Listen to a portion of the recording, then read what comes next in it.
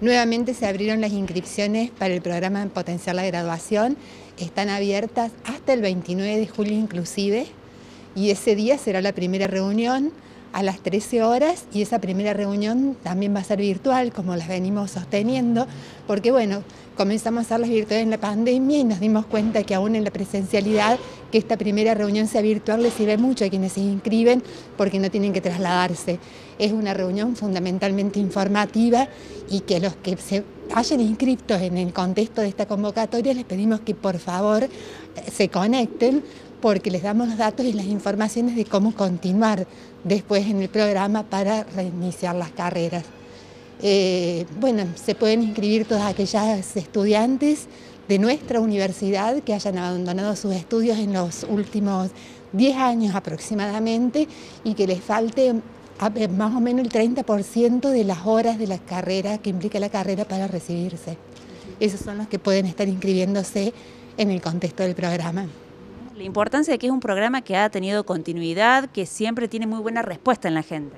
Es un programa que se inicia en julio del 2016 y que desde julio del 2016 hasta hoy, 2022, estamos haciendo convocatorias e inscripciones en febrero, marzo y en julio y agosto. Y bueno, y la gente siempre ha, se ha inscrito, tenemos aproximadamente entre 250 y 300 personas que se inscriben y se ha recibido también mucha gente en el contexto del programa.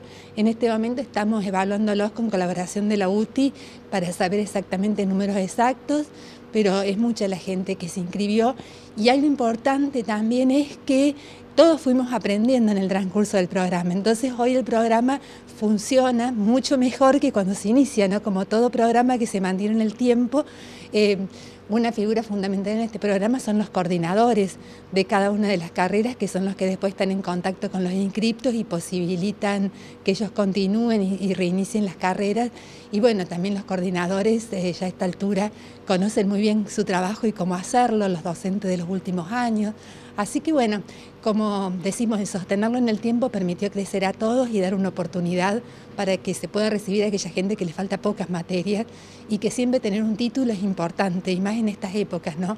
Posibilita otro trabajo, posibilita otros modos de vida formulario para inscripción está en la página web de nuestra universidad? En la página web de la universidad, entrando a la página de inicio de la universidad, en el banner, búsquenlo porque siempre hay varios banners, hay que ir pasándolos, pero uno de ellos es el del potencial graduación y clicleando ahí aparece todo, aparece el formulario, aparece una descripción pequeña sobre qué consiste el proyecto y se inscriben directamente ahí y cuando terminan su inscripción, si lo hicieron bien, reciben automáticamente un mail, que tengan cuidado de colocar bien el mail de ellos porque ahí les da el link para la primera reunión que va a tener lugar el 29 de julio, reitero, a las 13 horas.